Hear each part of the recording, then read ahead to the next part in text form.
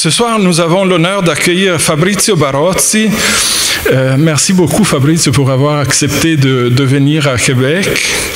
Euh, qui est architecte et fondateur euh, avec son collègue Alberto Veiga de la firme Barozzi Veiga, qui est siège à Barcelone, en Espagne. Fabrizio Barozzi étudie à l'UAV, euh, l'Institut universitaire d'architecture de Venise, en Italie, euh, tout en, comme beaucoup euh, d'étudiants européens, profitant du programme d'échange et donc pour une période à l'Escuela Tecnica Superiore de Architectura de Séville, en Espagne. Et il termine ses études toujours à Venise. Barozzi et Veiga sont les auteurs de plusieurs projets renommés en Espagne et à l'étranger. Euh, je ne ferai pas une liste, mais parmi leurs pro- projets plus remarquables, on peut considérer le centre de congrès de l'auditorium de Aguilas en Espagne, euh, le quartier général euh, Ribera do Duero, la Philharmonic Hall à, Zecin en Pologne. Euh, et euh, un magnifique euh, musée d'art à Chur en Suisse. L'architecture de Barozzi et Veiga est imprégnée de rigueur et d'une abstraction formelle toujours attentive au contexte. Dans cette architecture, la tension entre la composition formelle et le soin accordé à la matérialité et aux détails de construction amène à des projets intemporels, des projets qui semblent avoir été toujours là. La qualité de, l'architecture de a, contribu- euh, a contribué à l'octroi de nombreux prix et reconnaissances à travers le monde et on peut nommer euh, parmi les plus importantes euh, l'Ajax Award de 2007 euh, du Collège des architectes de Barcelone, l'International Architecture Award Barbara Capochin en 2011 en Italie, la médaille d'or de l'architecture en 2012. Euh, le Young Talent of Italian Architecture en 2013 euh, et en, en 2014, euh, Barozzi Veiga a été nommé parmi les meilleurs bureaux dans le design vanguard de Architectural Record. Euh, on veut souligner aussi euh, le prix Miss Van der Rohe, euh, qui est la reconnaissance, euh, une des plus grandes reconnaissances pour l'architecture contemporaine en Europe en 2015. Fabrizio, il est aussi très actif dans l'enseignement de l'architecture. Entre 2007 et 2009, a été professeur d'atelier à l'Université internationale de Catalogne à Barcelone et euh, à l'Université de Gironne. Et il a été euh, visiting professor à l'UAV et à l'MIT de, de Boston. Donc, sans plus tarder, je vous demanderai d'accueillir chaleureusement Fabrizio Barozzi.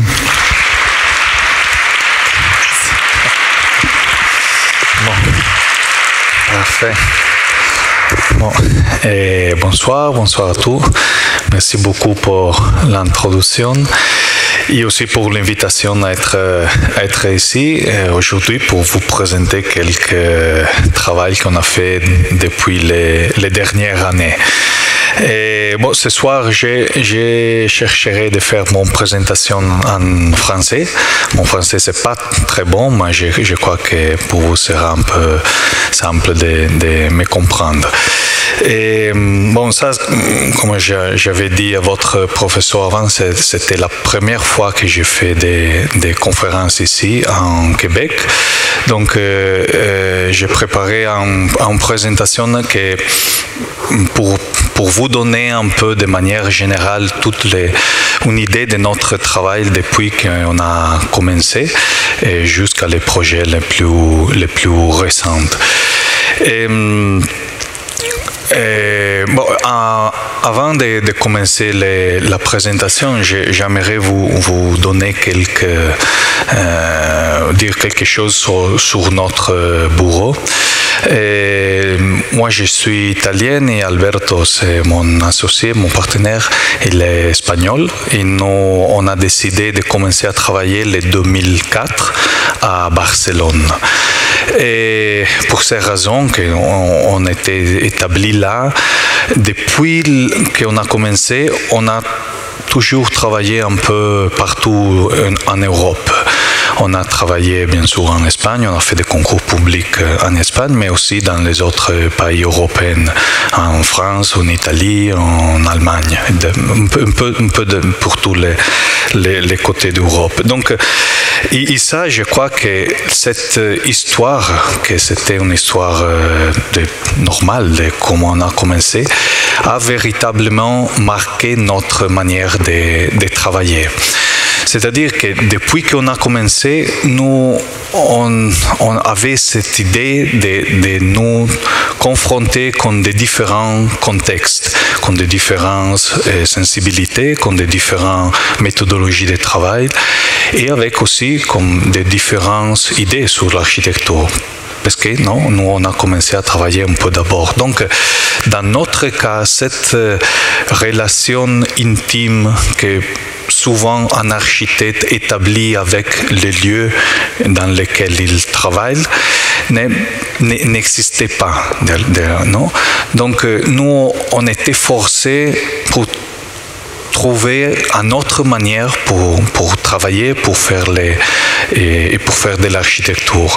Donc cette euh, idée de travailler avec les contextes, de, découvrir les, les, différents contextes, les différences, euh, l'unicité qu'il existe dans les différents contextes, c'était une idée qui pour nous été devenue essentielle dans notre travail. Cette idée de travailler avec euh, la spécificité de chaque lieu est devenue une thématique très, très, très importante pour notre travail, qui a été marquée pour, pour les commencements de notre, de notre euh, bureau.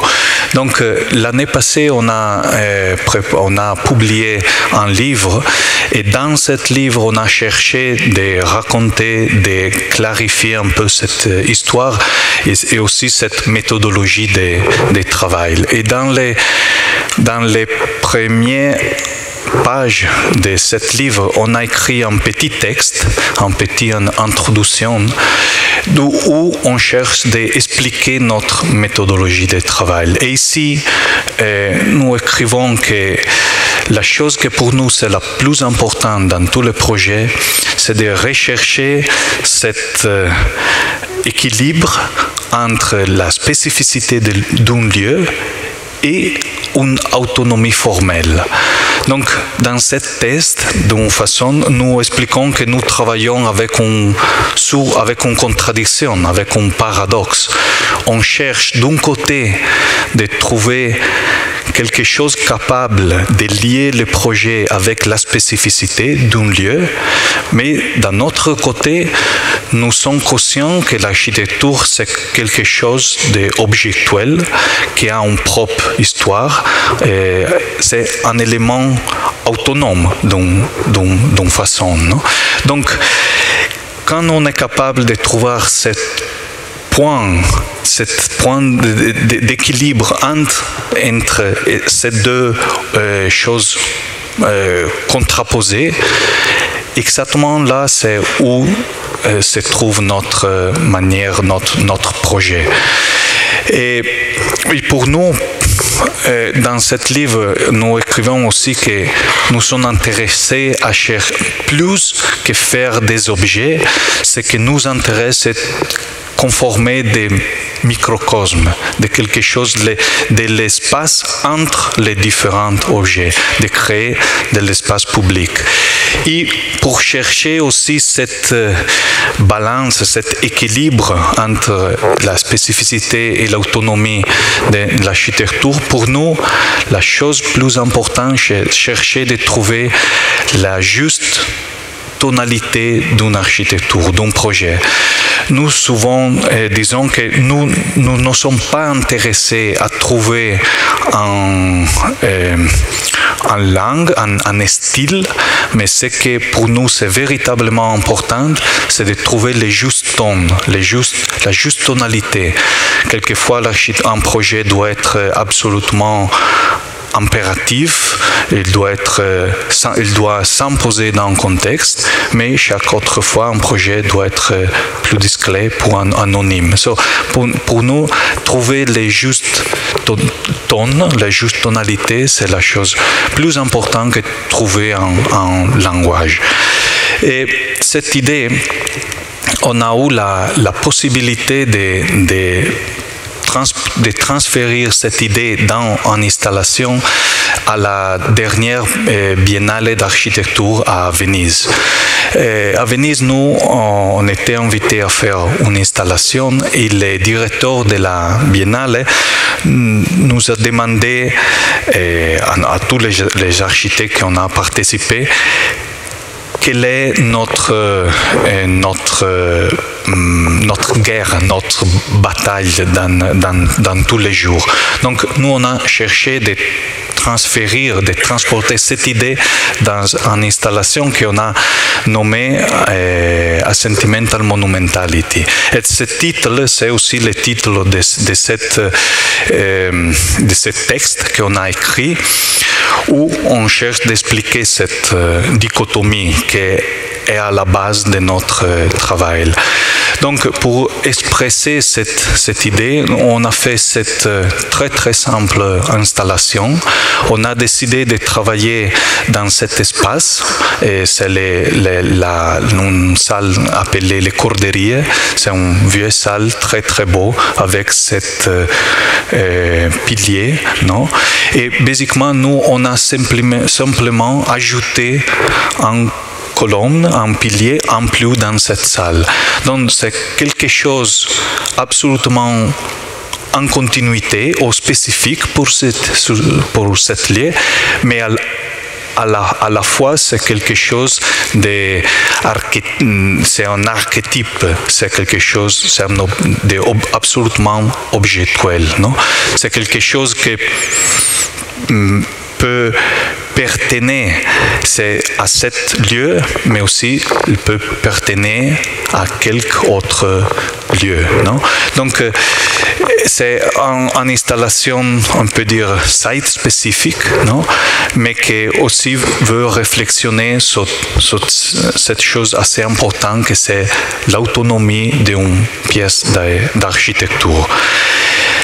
Et on a travaillé aussi la la matérialité de cette colonne. C'est une colonne assez simple, mais assez sophistiquée aussi parce qu'elle se fait en béton très très fin pour chercher de trouver la juste matérialité et établir cette relation, je peux dire un peu euh, sensorielle avec euh, l'espace, avec, les, avec les lieux. Donc cette idée qu'on a présenté dans la dernière, euh, dans la dernière biennale, on était présent dans, depuis qu'on a commencé notre, notre travail. En fait, ce projet, c'est un projet pour euh, un bâtiment pour le contrôle du vent. Les Ribera del Duero, c'est un, un, important vent. Et donc, et dans ce projet, cette idée de trouver cet équilibre entre le lieu et l'autonomie de, l'architecture était déjà très présente. Donc, comme vous voyez ici, le, bâtiment est placé exactement sur les limites d'une petite ville, une très très petite ville au nord de, Madrid, dans la Meseta. La Meseta, c'est cet euh, paysage très très horizontal, très vieux aussi, non, qui domine toute la part centrale de l'Espagne. Et cette condition de limite, cette condition géographique a déjà marqué les, les projets. Les projets, c'est un, projet double, dual. D'un côté, il parle en face à l'horizon et d'un côté, il établit un dialogue avec la, avec la ville. Donc, euh, si nous voyons les projets depuis la distance, depuis euh, dehors de la ville, nous on retrouve un très simple élément, c'est basiquement une tour, une tour qui marque très clairement les limites de la ville, les limites de l'artificialité de la ville en face à l'horizon de la, nature. C'est aussi un élément, c'est un archétype, c'est un tour pareil à beaucoup d'autres tours qui sont euh, distribués dans ce euh, paysage très très horizontal comme la, meseta castellana. Non? Mais si on va se rapprocher au projet, nous on commence à voir que cette euh, tour n'est pas un élément seul, mais c'est un tour lié à un vieux bâtiment originel. C'est le bâtiment sur la droite, un bâtiment qu'on a aussi euh, euh, restauré et c'est part du, du, projet. Donc, euh, dans cette image, je crois que euh, cette image peut expliquer assez bien cette volonté de trouver cet euh, équilibre que j'ai dit avant. C'est un projet qui commence avec la présistance, non? Il commence là, il commence avec les joints, avec le vieux bâtiment, mais peu à peu il devient quelque chose de plus indépendant, à plus autonome, non? C'est une chose qui commence avec les, les liens, la spécificité d'un lieu, la spécificité le bâtiment euh, original, mais que peu à peu il dialogue avec la grande distance, la, la grande scale, et la grande dimension de la de, de, de l'horizon en face. Donc le bâtiment, c'est basiquement un bâtiment euh, pour, pour euh, administratif, pour le contrôle du, du, du, levant. Et dans les tours, on a placé tous les, programmes plus publics, plus nobles. Il y a une salle du conseil dans la part plus haut et des, autres choses à l'entrée. et la tour cherche de quelque façon de continuer les limites de la vieille muraille que vous voyez ici à gauche, non? D'entrer en continuité avec cette ligne qui marque les limites de la, euh, de la vieille ville. Et cette plan, ce dessin montre une des choses plus importantes de ce projet, mais aussi de, notre manière de travailler. Et et ça, c'était un concours qu'on avait gagné. L'idée, c'était de faire l'extension du bâtiment à côté de le bâtiment euh, original.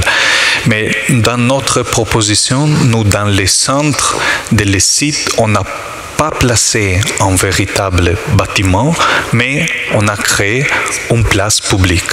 On a créé un espace public et l'architecture, c'est seulement les, les, une couronne, c'est l'élément périmétral qui définit cette vide intérieur, cet espace euh, intérieur. Donc, euh, pour nous, comme, on dit euh, avant, nous nous sommes plus intéressés à conformer un lieu, à créer un lieu, à créer cette idée d'un petit microcosme, un petit espace urbain, plus que faire seulement un, objet. Donc cette image, c'est un peu un, un manifesto de notre manière de, travailler. L'architecture est modélée en fonction de la création euh, de l'espace public. Et cette chose, c'est encore, encore plus importante parce que ce bâtiment, c'est un bâtiment privé mais on a trouvé la possibilité de créer dans un bâtiment privé un espace public que tous les citoyens de cette petite ville peuvent, utiliser.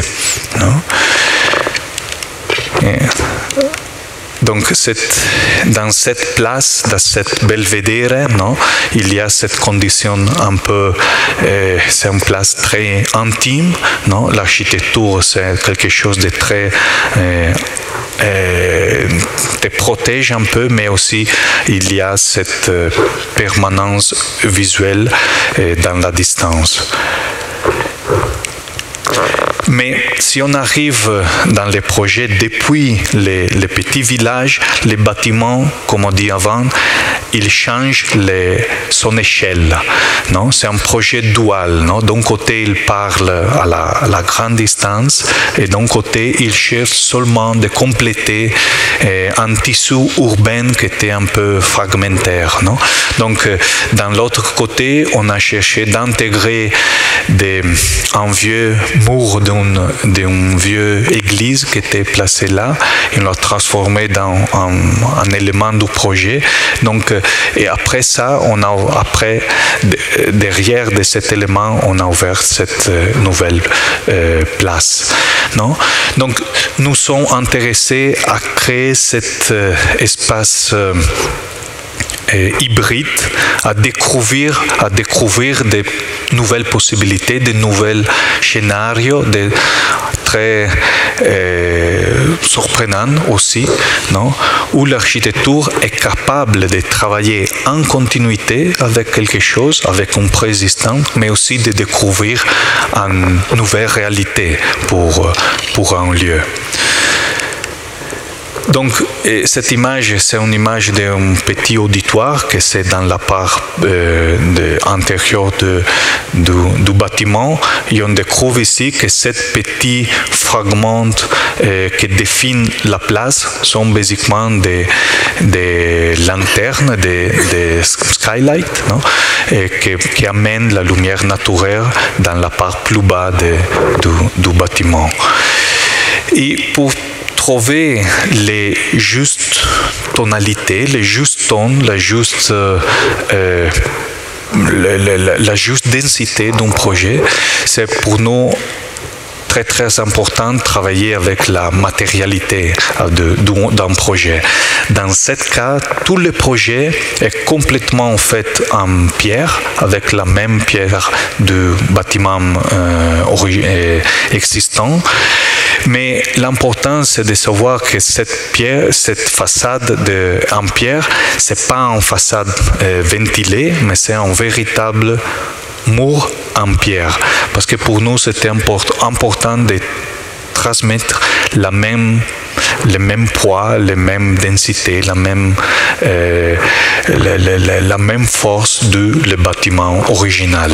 Et aussi pour, euh, pour trouver la, pour travailler avec les, les, les tempes. Dans les tempes en, architecture, c'est quelque chose d'absolument important. Ce sera les tempes qui permettra que ce bâtiment non, il, change, il se transforme et peu à peu, il deviendra plus euh, en continuité, plus intégré dans cette, euh, dans cette ambiance. Et les mêmes idées qui ont été à la base de ces projets, on les retrouve aussi dans un projet qu'on a finalisé euh, il y a trois ans et pour faire une philharmonie en Pologne, dans cette ville qui s'appelle Stettin, que c'est euh, en Pologne, mais juste à côté de Berlin, en, en Allemagne. Et cette image c'est une image qu'on a pris euh, dans notre bureau, dans le bureau qu'on avait là pour, pour suivre le travail. Et cette image montre, je crois, assez bien comment comment, comment, cette, comment est faite cette, cette ville. Stettin, c'est une ville qui, basiquement, a perdu ton, tout son caractère parce qu'elle était basiquement détruit depuis, dans la Seconde Guerre mondiale. Donc, et maintenant, c'est une ville très fragmenté, non, où il coexiste euh, différentes choses. Il y a des bâtiments euh, socialistes des années 60 et 70, il y a des monuments euh, néo-gothiques, il y a un petit part de monuments médiévaux, un petit. Donc il y a beaucoup de choses et toute cette, cette chose conforme un paysage. Un peu compliqué, mais ça c'est le paysage de la ville. Et d'une façon, pour nous, était important de trouver une manière de répondre, de répondre avec l'architecture à ce paysage, non? de trouver quelque chose de, unique et spécial pour entrer en continuité avec cette, euh, euh, euh, cette, cette ville. Mais c'était important de trouver entrer en relation pas seulement avec la ville, mais aussi avec les éléments plus proches des, des nouveaux bâtiments. Ça, c'est un dessin euh, original du bâtiment à côté de la Philharmonie. Et dans, cette, dans ces bâtiments, dans ce dessin, on peut déjà trouver tous les éléments identitaires que conforme l'authenticité de cette ville.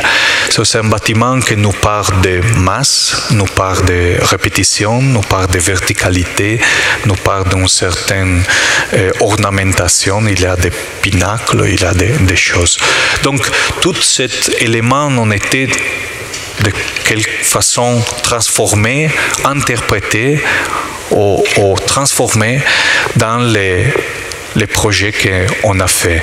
Un projet qui était fait avec les mêmes éléments identitaires du de la, typologie traditionnelle, mais ils sont transformés dans un élément absolument autonome. En architecture, c'est quelque chose qui a son propre règle, son propre histoire. L'architecture, c'est une discipline, c'est quelque chose d'autonome. Et donc, ça, c'est le résultat, quelque chose qui peut pertenir, qu'il est de la ville, mais aussi il est quelque chose qui définit en, en propre autonomie formelle. Non? Et le résultat de ce procès et c'est cette euh, image euh, ici. Le bâtiment, d'un point de vue euh, urbain, seulement il définit un, angle, un corner de, la ville. Non. Il cherche de clarifier un peu les tissus urbains, mais c'est très précis. Et dans quelle façon, tous les éléments qu'on a vus avant dans les bâtiments qui étaient à droite, le vieux bâtiment à côté, ils sont encore, il, encore, mais transformés dans les, dans les nouveaux bâtiments. Et nous, on a cherché de faire un projet extrêmement simple, très simple. C'est en apparence complexe, mais c'est véritablement simple, où la seule, le seul élément expressif, c'est la, la, la couverte, non, qui marque cette couverte très, très verticale et qui permet d'entrer en continuité avec ce paysage euh, de la ville. C'est une autre image euh, quand on arrive dans, la, dans, la, dans le bâtiment. Autour du de bâtiment, il y a une couronne d'espace vert assez, assez importante. Donc, on a travaillé en continuité avec les formes de la ville, mais on a aussi changé radicalement la matérialité du bâtiment. On a travaillé avec des métals et du verre en ordre de par donner plus d'indépendance au projet en face des bâtiments euh, originels. Ici, vous voyez que autour du bâtiment, il y a ce très grand euh, espace vert. Et l'idée aussi de travailler avec la toiture était parce que quand on arrive dans la, dans la philharmonie, on la peut voir depuis loin et, et au-dessous des arbres. Donc cet élément de la toiture, c'est un élément euh, qui peut remarquer un peu la, silhouette, la forme du, euh, du projet. Donc, j'ai dit que c'est un projet simple et je crois que les plans il les, montrent assez bien. Nous sommes toujours intéressés à résoudre, à, à résoudre un programme complexe avec la, la maxima euh, simplicité. Ici, par exemple, la, philharmonie c'est composée d'une couronne périmétrale qui conforme tous les espaces techniques, les, escaliers, les éléments de connexion verticaux. Non? Et à l'intérieur, il y a les deux salles de concert, la salle symphonique et la salle pour musique de chambre. Et les espaces intermédiaires, c'est un grand, un gros vide que c'est tout euh, conformé comme un espace public. Dans ce projet, n'était pas possible de travailler euh, à l'extérieur, donc on a cherché d'amener les espaces publics à l'intérieur de, de le bâtiment. Donc les foyers, c'est une véritable place, une véritable place couverte, une place, un espace euh, qui était euh, surdimensionné pour pouvoir euh, euh, faire des événements ou pour aussi des, des, activités sociales à l'intérieur de la ville. Cet espace s'est conformé basiquement pour les grands escaliers qui amènent les visiteurs dans tous les, les bâtiments, dans, les, dans, les, dans la lumière qui vient depuis la toiture et dans la forme de les, de deux salles de, de concert. Non? Et pour nous, c'est que dans un bâtiment public, nous, nous, on a fait beaucoup de bâtiments culturels et publics. La chose, à la fin, l'architecture, c'est seulement quelque chose qui doit euh, inviter à être utilisé, à créer un, véritable lieu euh, de, de rencontres de, et social. Donc, d'une quelle façon l'architecture, c'est seulement un background, non? C'est quelque chose qu'il doit être un peu à côté non, de l'activité, mais l'activité de la, de l'agence est la, chose qui est la plus, euh, plus importante à la fin pour ce type de, de bâtiment. Et le programme principal del, pour un philharmonie, c'est la salle de concert. Donc la question c'était comment, comment faire une salle de concert dédiée à musique classique d'une façon contemporaine. Donc on a, comme dans tous les bâtiments, aussi dans, la conformisation de la salle, on a cherché de travailler en continuité avec une tradition. Donc la, la section de la salle, c'est basiquement une réinterprétation d'une typologie traditionnelle. Et on a aussi pensé que si on était capable de définir en détail un élément, euh, un petit euh, détail, avec un matériau euh, pas commun dans l'architecture contemporaine, que c'est la, la, feuille d'or, on était probablement capable, après capable de conformer la totalité de la salle de concert. Donc la salle de concert, je peux dire que c'est comme une ornementation dans la, une grande échelle, donc quelque chose. Non? Donc on a parti dans la définition d'un petit élément et on a transformé cet élément dans toute la, la salle. Donc il y a cette idée d'ornement, d'ornementation qui était présent dans la tradition, mais ici, il devient quelque chose de complètement nouveau.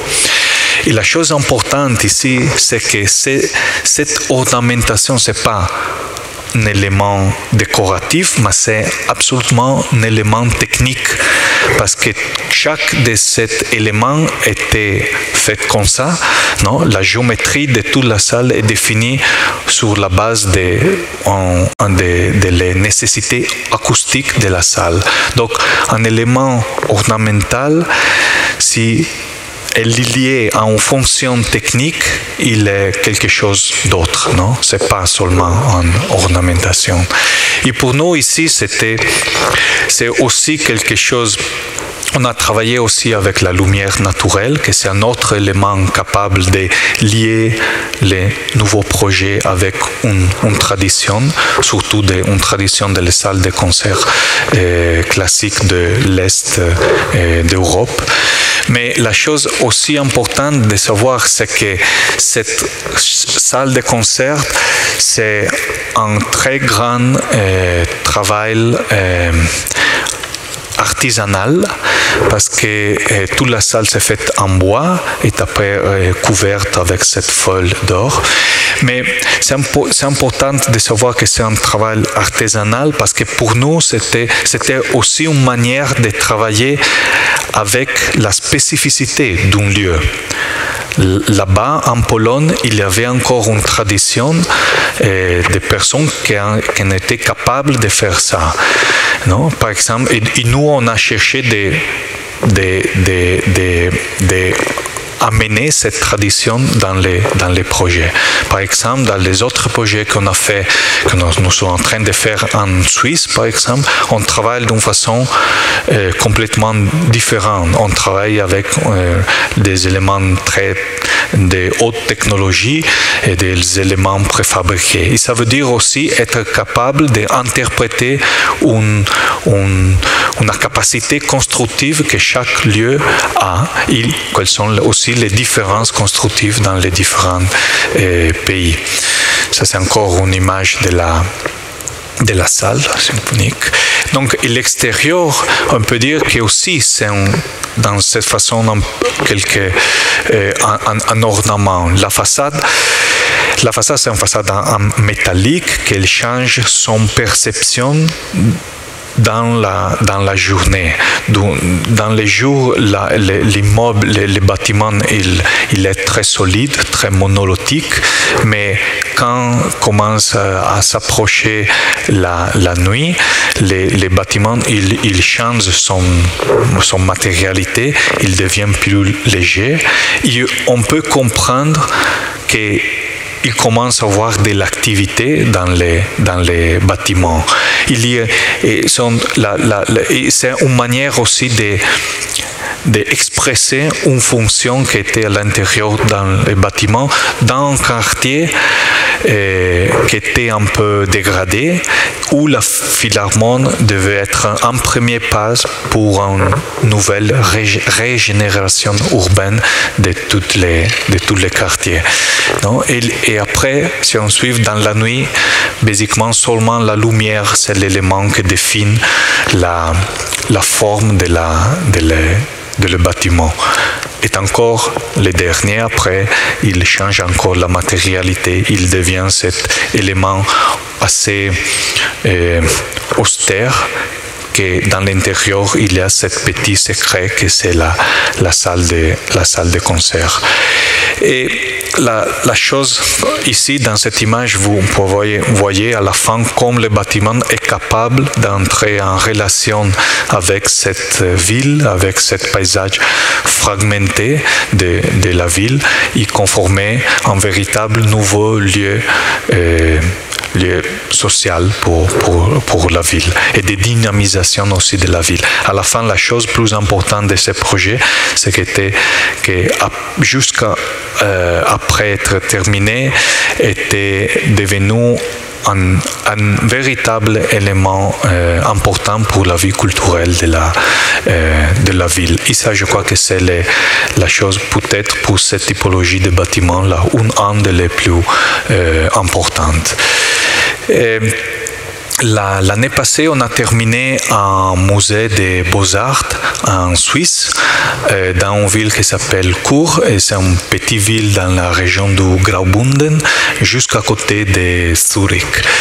L'histoire de ce projet, c'est assez euh, intéressant euh, et particulière aussi, parce que le projet, c'est un projet d'extension d'un musée d'art euh, qui était déjà, déjà là depuis longtemps. Ça, c'est une image qui montre les, la vieille ville, euh, la villa qui est euh, dans euh, de, de le musée. C'était une villa qui était euh, faite dans les 17 le siècle 17 century. Non? Ça, c'est une, une ville néo-palladienne, non? mais qu'il y a une chose un peu particulière parce qu'il y a une décoration euh, orientaliste. Parce que c'était la ville d'un riche euh, marchand qui importait tissus depuis euh, l'Égypte. Donc, comme hommage à les pays qui il l'a fait devenir riche, il a, il a superposé à cet bâtiment classique néo-palladien en cette typologie de cette ornementation. C'est un bâtiment qui, dans les 1982, était rénové par euh, Peter Zumter. Et Zumter a, euh, a posé ces deux Wintergarten à côté de l'entrée. Donc, dans l'entrée originale, il y a une, sphinge, non? C'est quelque chose un peu bizarre de trouver ça en, plein montagne suisse, non? Mais ça explique aussi la, la, les, bâtiments. Non? Et autour de cette villa, il y a un jardin très petit mais assez beau, avec des, des sculptures, euh, c'est un jardin euh, romantique autour de de la, ville. Et cette idée d'une décoration un peu bizarre, un peu éclectique, et il, existe aussi dans l'intérieur de, la ville. Si on regarde, ça c'est le plan des bâtiments de cette ville, non? C'est une conformation très claire en, croix, non? Dérivée clairement depuis la, la rotonda de Palladio. Non? Donc, quand on a fait le concours, quand on a commencé le projet, cette idée de nous confronter con quelque chose qui était déjà là, c'était important. Mais la chose la plus importante, c'était pour nous chercher de trouver une relation avec cette idée d'absolu, non, d'une architecture absolue qui était présente dans l'architecture de Palladio et d'une façon transformée aussi dans les bâtiments du, original du, du musée. Donc cette idée a commencé à être pour nous assez importante. Donc on a parce que cette idée, c'était important de trouver cette euh, architecture, on peut dire, euh, absolue, définie avec une double symétrie. On a commencé à penser que l'extension du musée devait peut-être fonctionner comme un, diptyque, non, un diptyque, non? Donc, euh, dans ce livre, quand on présente les, projets, on dit qu'on a on présente cette image, ça c'est un un tableau de Piero de la Francesca absolument merveilleux parce que d'un côté il y a un portrait et dans l'autre côté derrière il y a un autre portier, un autre portrait. Donc les les deux portraits sont faits absolument avec les mêmes, la même méthodologie, les mêmes couleurs, la même solidité, la même les mêmes absolus d'algune façon, mais chacun a son, deux personnages complètement euh, différents. Donc à la fin, les projets d'extension qu'on a fait, ils cherchent de trouver cette euh, condition, de travailler avec les mêmes éléments de le bâtiment originaux, originaux, mais les transformer dans un projet absolument autonome. Non? Et les plans, il expresse clairement cette volonté de faire une architecture le plus précis, le plus absolu euh, possible. Donc euh, les nouveaux bâtiments se conformaient seulement avec les deux euh, corps, non? les deux stairs qui conforment la structure, mais aussi la construction. Ils défendent aussi les, programmes du, bâtiment. Donc tout le projet s'est véritablement réduit dans son les, les minimums, non? pour être le plus dense, le plus précis possible. Et la géométrie de nouveau projet, c'est dérivé non, depuis euh, les bâtiments euh, originaux.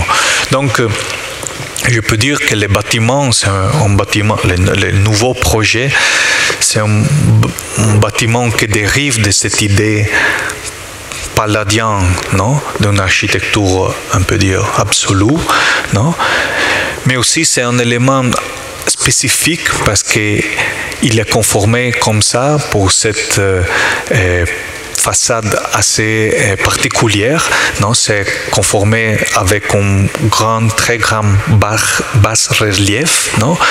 Qui conforme cette condition d'ornementation qui était présente aussi dans les bâtiments originaux, non? Donc, c'est à la fois un bâtiment dérivé de les, au, travailler, qui travaille sur les caractères identitaires de la préexistence, mais qui les transforme dans une façon complètement euh, différente et euh, autonome. Et encore, euh, une chose importante à comprendre, c'est que nous, on a cherché de réduire le plus possible le, footprint du, du, bâtiment non, pour créer cet euh, petit espace public autour du bâtiment non, et de pouvoir étendre les jardins qui étaient autour de la villa, non, aussi dans les, dans les nouveaux projets. C'est pas un jardin vert, c'est un jardin minéral, non, mais c'est important parce qu'il il conforme cette euh, plateforme, non, cette, cette euh, podium, non, que c'est un élément euh, presque invisible, mais capable de, lier l'ensemble deux, les deux bâtiments. Et aussi faire que les nouveaux bâtiments, ils peuvent respirer non? et trouver la juste, la plus précise insertion dans les contextes urbains. Et ça sont des autres euh, images. Les, la chose importante, c'est qu'à la base de tout notre projet, il y a toujours une idée programmatique très très précise. Dans ce cas, pour trouver, pour, pour générer cet espace urbain que pour nous c'était absolument important et trouver la juste relation avec les bâtiments originaux, on a décidé de invertir les programmes. Donc, euh, on a placé dans les sous-sols tous les espaces expositifs et on a laissé euh, dehors, au-dessous, seulement les, les, espaces euh, publics, les foyers, l'espace pour la pédagogie et les espaces pour les, les ateliers. Et la connexion avec les, la villa était faite dans les premiers sous-sols. Donc le foyer, c'est, il, il, expresse cette relation intime avec les bâtiments euh, originaux. La façade de la ville, c'est la façade d'un autre foyer. Et le foyer, c'est une, chose, très très calme, très très simple. C'est seulement un petit espace public à l'intérieur du, du musée. Donc, ce sont les escaliers qui amènent les visiteurs dans les espaces expositifs. Et la chose importante, c'était trouver la manière d'amener les visiteurs dans les sous-sols, mais sans, aucun problème, sans, sans générer euh, aucune euh, problématique. Et on a trouvé ça euh, avec la proportion de, l'escalier, c'est un, escalier assez généreux, et aussi avec la dimension des espaces expositifs. Les, euh, ça sont encore images de l'escalier, ça ne marche pas. Moi. Ah ok. Non, ça c'est le plan du premier niveau euh, dans les sous-sols et ça c'est un, plan clairement dérivé de cette idée compositive du Palladio. C'est seulement une composition d'une euh, différentes salles non? qui la salle se move autour de ces deux euh, éléments structurels non, que contiennent les, les escaliers. Non? Donc, euh, le premier niveau, le, le, projet, c'est assez pragmatique. Le premier niveau, c'est tout dédié à la collection permanente du musée. Ici, il y a la, connexion avec euh, l'espace euh, restauré par Peter Zumthor dans les bâtiments originaux. Non et les niveaux inférieurs, les derniers niveaux, c'est tout dédié à l'exposition temporaire.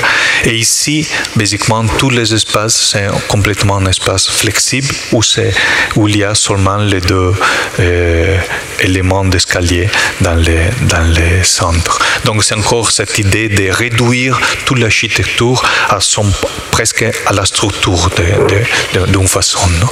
Et ce sont les images de, la, de cet espace pour l'exposition temporaire.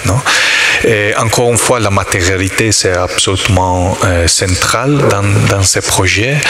Et toute la façade, c'est conformé dans, des éléments préfabriqués en béton très très grands, non? et conformé avec cette forme, c'est une pièce de 50 pour 50 cm travaillée qui conforme cette basse relief. Non? Que, et cet élément, c'est important parce que nous donne aussi la possibilité d'intégrer dans les façades tous les éléments techniques, les installations, la ventilation, etc., et donner cette uniformité et homogénéité à toute la, la façade. Et dans ce bâtiment très, très rigoureux, très, qu'elle cherche cette idée très précise, très absolue de, l'architecture avec cette double symétrie, il y a un petit euh, euh, distorsion que c'est l'entrée de la livraison, non?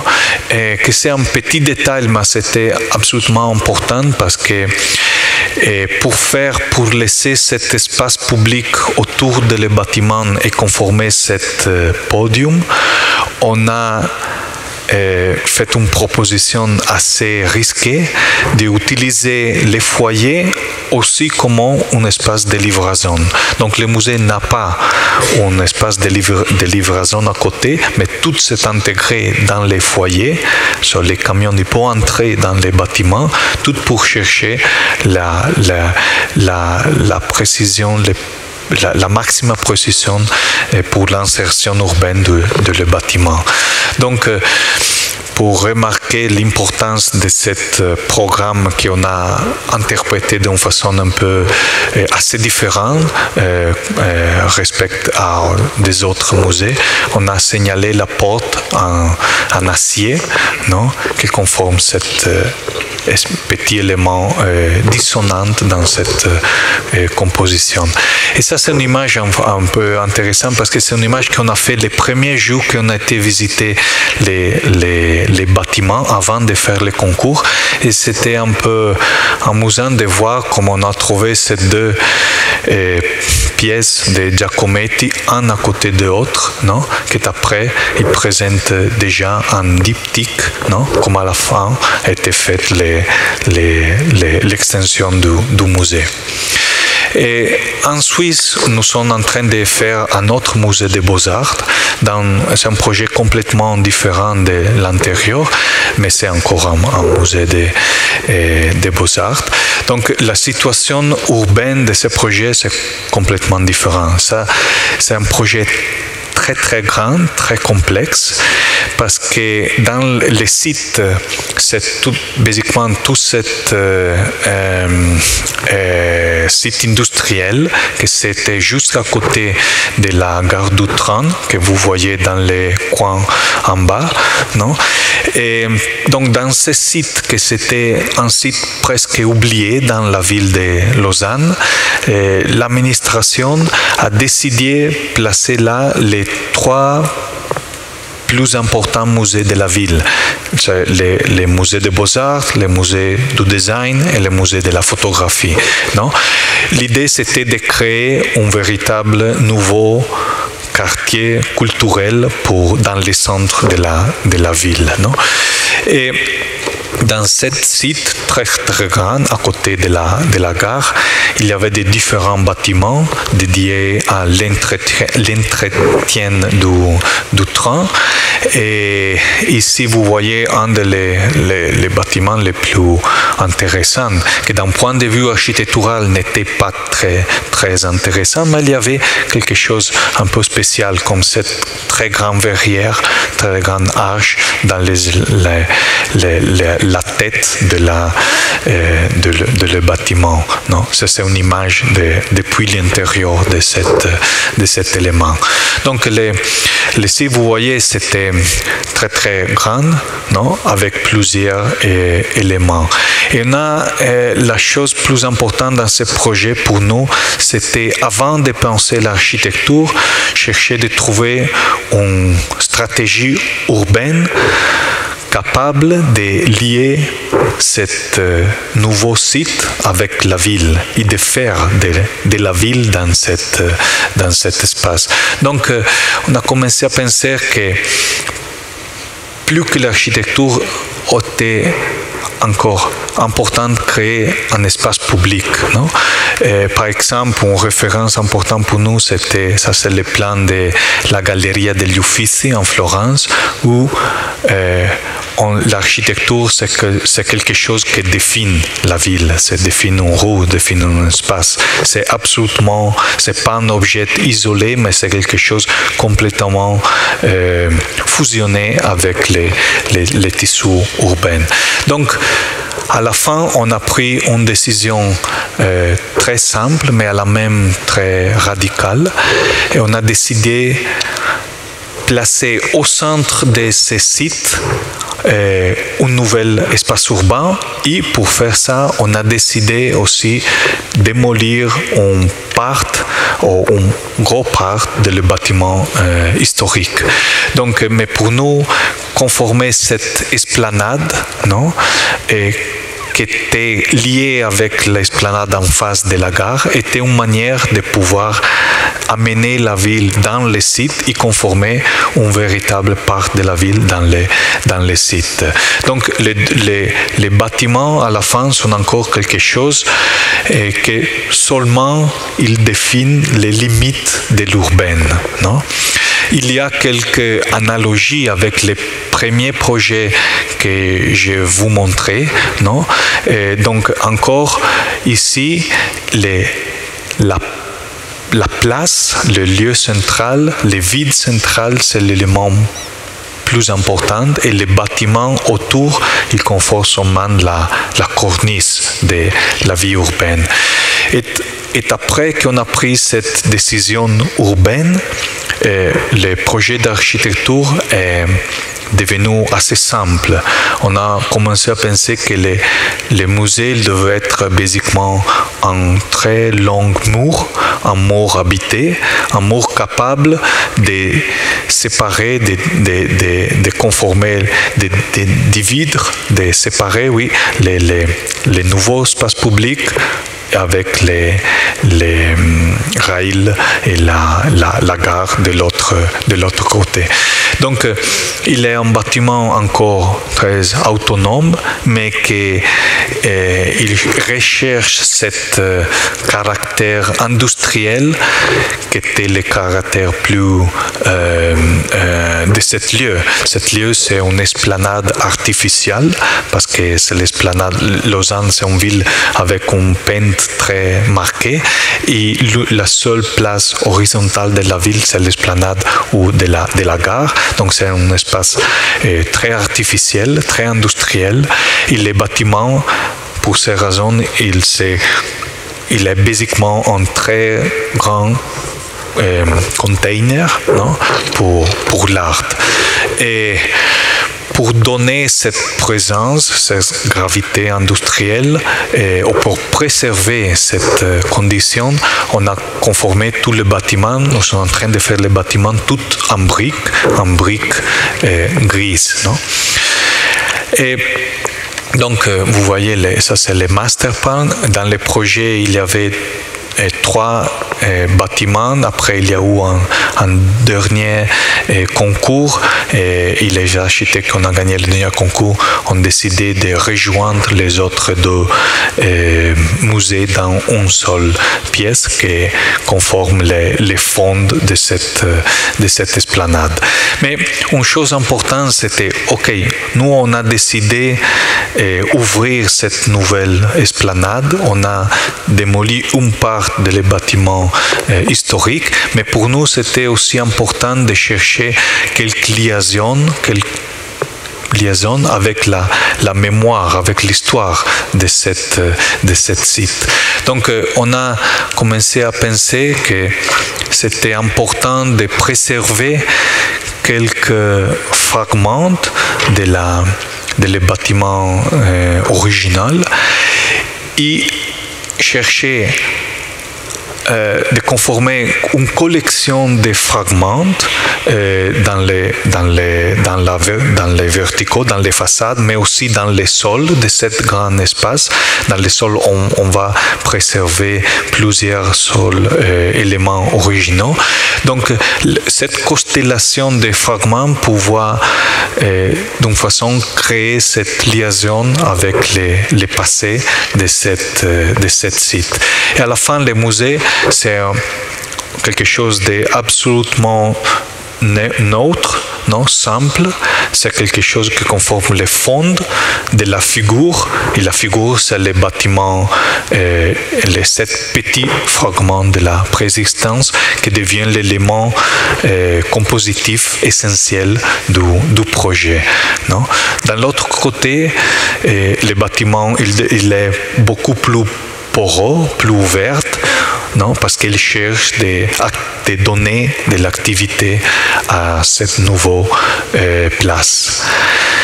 Les rez-de-chaussée, euh, c'est entièrement dédié à, pour les, programmes publics. Il y a les foyers, l'auditoire, euh, les bookshops, les restaurants, etc.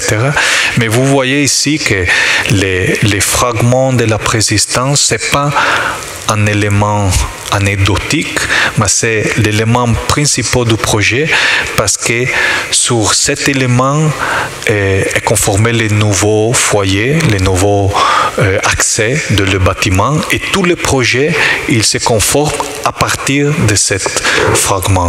Et on verra comme après il clarifie aussi les, les programmes de, du musée. Ça, c'est le nouveau foyer. Vous voyez là cette verrière qu'on préserve, qu'il est transformé en quelque chose d'autre, elle devient encore l'élément central de ce nouveau euh, espace. À côté du foyer, il y a deux escaliers qui vous amènent dans les premiers et deuxième étages. Ici, vous voyez comment euh,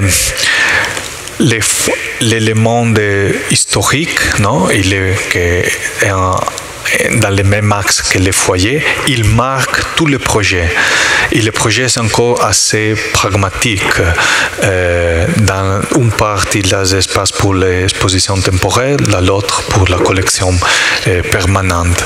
Mais aussi, la chose que je trouve intéressante, c'est que cet très grand musée est aussi complexe d'un point de vue de la pro programme, il est défini ou il est conformé seulement avec une série de noyaux, d'escaliers, d'éléments structurels et de connexions verticales qui, sont capables de conformer les programmes, mais aussi la méthodologie de construction, mais aussi la structure. Donc, il y a encore une fois cette volonté de, de trouver en architecture le plus possible synthétique, non? De, de, de, les, les, les, plus intégrés euh, possible. Ça, c'est une image de les de deuxième euh, niveau, qu'il y a un, verrière avec la, la lumière euh, naturelle. Non? Mm, ici, euh, nous sommes, l'idée c'est de terminer le projet dans les prochaines deux années. Et, mais le chantier, il va suivre encore depuis beaucoup d'années parce qu'il y a les autres musées, l'esplanade, etc. Donc c'est un projet très, très complexe. Et ici, la chose qu'ils commencent, la gens aussi, les citoyens, ils commencent à, à voir, c'est cette cette surprise d'avoir la possibilité de conformer un nouveau espace public, une nouvelle esplanade dans un lieu qui était complètement euh, oublié dans la, dans la ville. Non?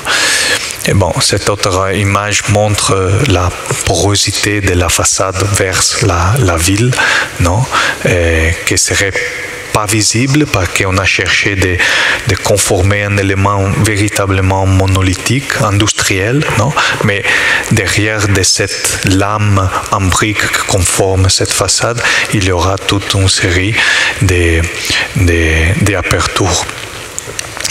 Et après, le dernier projet que vous montre ce soir, c'est un projet un peu différent des autres parce que après des dix ans, euh, on a eu l'opportunité aussi de faire un projet d'une maison, d'une petite, euh, maison, donc de toucher cette condition euh, domestique de l'architecture que on n'avait jamais l'opportunité de faire avant.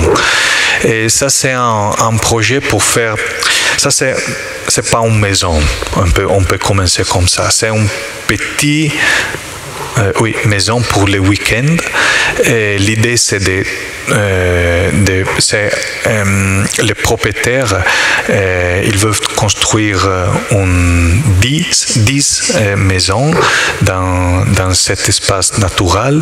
Ce sont des maisons où la gente peut, peut aller et rester là pour, pour se retrouver ou pour, pour être dans la, dans la nature. D'une façon, c'est, c'est plus un refuge qu'une véritable euh, maisons. Non? Et deux maisons sont déjà faites, une pour les, architectes euh, du Chile. Euh, et Peso von Erichhausen. Et la, la, seconde maison, c'est faite pour le bureau belge de Office. Et probablement la, la prochaine sera la, la nôtre. Donc ça c'est une image de le site, non? C'est un site absolument naturel, très très beau. C'est à côté de Barcelone, un peu au sud, dans une région très euh, où elle fait beaucoup de chaleur dans, l'été. Donc dans un site euh, où il n'avait pas aucun présistance, aucun euh, élément. Et ça, pour nous, c'était une condition un peu nouveau, parce que on a toujours travaillé dans des contextes beaucoup plus euh, consolidés, plus, plus solides. Donc, euh, et on a commencé à penser que dans ce contexte, on devait trouver une manière véritablement de retourner dans, dans, dans des formes euh, archétypiques d'une manière pour trouver une condition encore autonome dans cette dans cette euh, paysage. Donc le site était très très grand nous on a choisi un petit euh, un, montagne, une très très petite euh, montagne dans ce site et on a décidé de travailler dans la, dans la sommité, dans le le pont plus haut de cette, de cette euh, petite, petite montagne. Et là, on a placé pas un objet, mais on a cherché de créer un lieu cette idée de conformer un petit microcosme plus qu'un objet, c'est toujours une idée pour nous très, très importante. Donc, dans, cette, euh, euh, dans cet espace, on a placé quelque chose absolument simple, sont seulement quatre euh, petits euh, pavillons, chacun avec une, fonction. Donc euh, la, la maison, c'est pas un objet, c'est pas quelque chose de défini, mais c'est plutôt une manière l'architecture expresse plutôt une manière de vivre dans, dans, dans cet espace, une manière de vivre à, l'extérieur. Chaque pavillon une fonction. Il y a euh, à la fin un pavillon d'entrée. Un pavillon, c'est la, maison, la maison fermée. Il y a une piscine et un espace pour manger à, l'extérieur. Et ces pavillons sont déposés sur un podium, un socle, une plateforme, non? qui s'est posé dans, la, dans les pont plus, plus haut, plus en haut, et d'une façon, c'est une manière de trouver en relation avec la terre, non, d'artificialiser la, la, la, nature d'une façon. Non? Donc, euh, le plan, c'est absolument simple les petits pavillons en haut, c'est l'entrée, non? et les autres, c'est à gauche la maison, l'espace pour euh, manger à, à, gauche, pardon, et la, la piscine dans la, dans la, dans la part plus en haut. Non? Et pour arriver à la maison, il faut laisser la voiture un peu loin, il faut faire un petit euh, chemin dans, les, dans, les, dans la forêt et on arrive à les pavillons d'entrée. Donc, la chose qu'on a cherché de conformer, c'est plutôt créer une expérience pour vivre dans la dans l'Amazon. Donc ça, c'est l'image de, de ce petit pavillon d'entrée. Donc euh, on va traverser la forêt, on retrouve ces petits éléments, on va entrer, on doit passer dans, les, dans ce pavillon, il y a un peu d'eau, donc on peut sentir les, un peu de fraîcheur non, dans ce climat assez extrême en, en, été. Et à le fond, on tourne à droite et on arrive dans, notre, dans cette petit euh, microcosme. C'est la maison, c'est encore une fois, comme beaucoup des autres projets, la conformation d'une limite, non? La définition d'un vide, non? Où l'architecture conforme cette vide en face à, la, nature. Non? Et donc dans cette... Euh, la l'Amazon conforme, il y a cet euh, podium, non, que c'est l'espace extérieur de la ville, et, et, la vue sur la nature filtrée euh, entre les différents euh, pavillons. Donc, les, les pavillons sont basiquement seulement une structure, rien d'autre. C'est seulement un élément qui protège un, un, espace. Et là, on a travaillé con un élément, cet élément triangulaire, qui n'est pas une colonne, n'est pas un pilier, mais n'est pas aussi une, fenêtre dans nos murs. C'est quelque chose d'un peu euh, hybride. C'est une chose, c'est un, élément qui permet d'avoir euh, quelque chose assez ouvert à la base, mais aussi fin dans la part plus haut, qui aussi euh, ils permettent de contrôler les, les soleils dans l'espace euh, intérieur. Ça c'est une autre image non, euh, sur les pavillons d'entrée. Donc, euh, les, les, living est quelque chose, basiquement, c'est euh, un espace vide. Les chambres sont d'un niveau au-dessous. Non, c'est quelque chose pour qui est complètement. Euh, c'est l'idée d'être à l'intérieur, mais à l'extérieur, à les mêmes, à les mêmes, les mêmes thèmes. Non, c'est seulement la définition la plus simple, la plus basique, la plus austère aussi de, pour, pour une architecture. Ça, c'est les espace pour manger à l'extérieur. Et l'autre, c'est la, la, piscine, que c'est dans la sommité, l'idée de travailler, de conformer quelque chose ressemblable à un, à un terme, non? C'est un bâtiment, c'est quelque chose d'escavé dans la, dans, la, dans la pierre.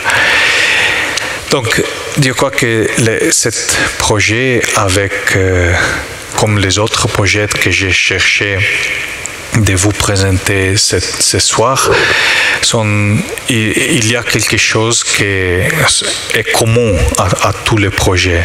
Cette idée de chercher une architecture, de chercher des formes capables de appartenir à un lieu, d'être lié à un, lieu, mais à la fois être capable d'être de se lier avec toutes les lieux. Donc pour ces raisons quelque chose de plus euh, universel. Et avec ça, je vous remercie pour l'attention et pour l'invitation. C'était un véritable plaisir pour moi d'être ici et vous présenter notre travail. Merci beaucoup.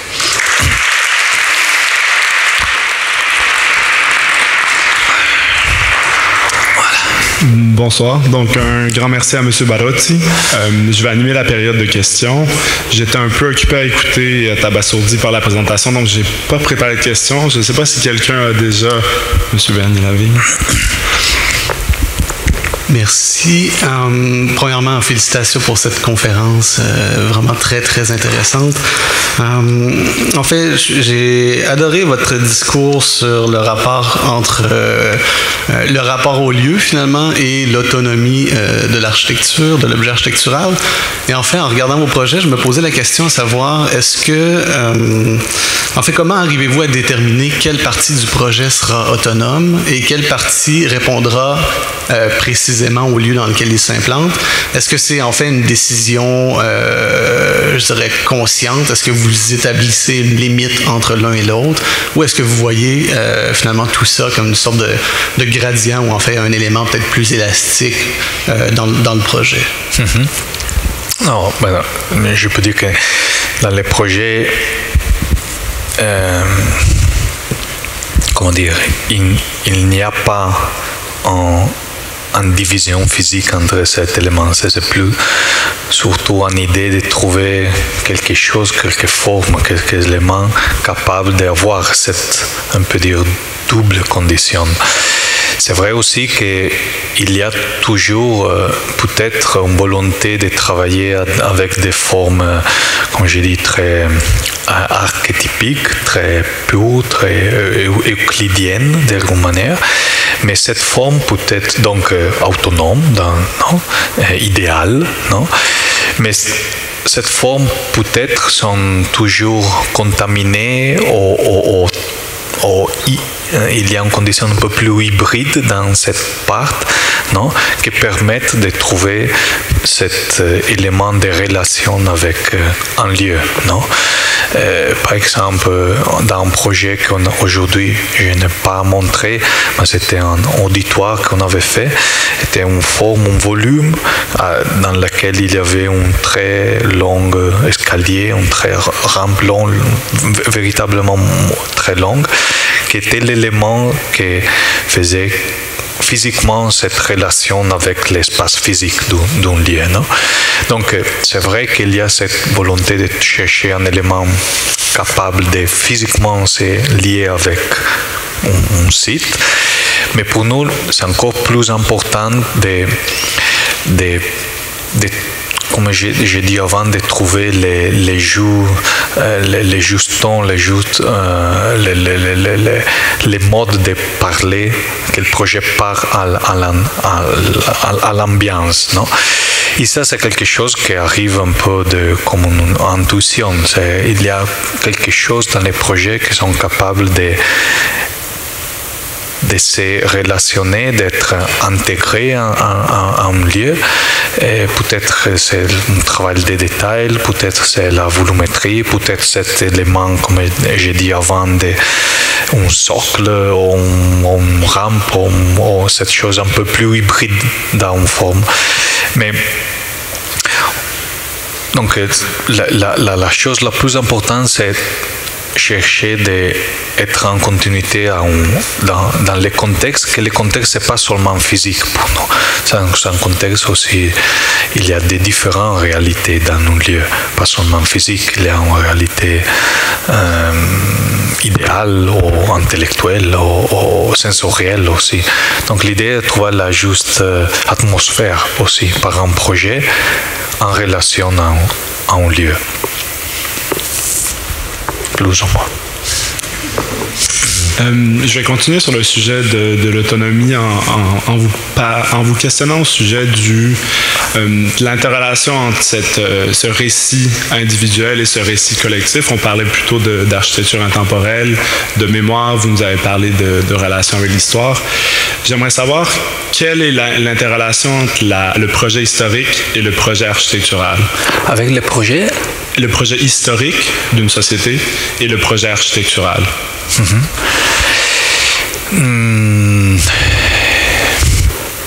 Bon, quand, j'ai parlé que la, la, la comment dire, euh, la chose plus, pour nous importante, c'est euh, d'être conscient que en architecture aussi contemporaine, et il est un élément en continuité avec une tradition. Non? On ne travaille pas avec cette idée de tabula rasa ou de, on, on, cherche jamais de faire des architectures euh, génériques, non? Mais on cherche conscientement on travaille en continuité avec quelque chose. Donc, euh, il y a une histoire d'un lieu qui est importante, il y a une tradition, mais il y a aussi une tradition propre de la discipline. L'architecture, c'est une discipline qui a son propre histoire, son propre bagage d'algún. Et travailler avec des, des références de la de, l'architecture comme lui, de, de, le bagage de l'architecture, pour nous, c'est important. C'est quelque chose capable de, de, de nous permettre d'éclairer qu'on est conscient que nous sommes on, transforme quelque, chose qui était déjà été. Non? Donc pour nous, c'est important de travailler dans cette idée en continuité avec une histoire, une histoire un peu abstraite, que c'est l'histoire de l'architecture, mais aussi on cherche souvent de comprendre une tradition de les différents lieux où on travaille, une, tradition physique, et de quelque façon euh, la réinterpréter ou la retrouver dans les, dans les, dans les projets.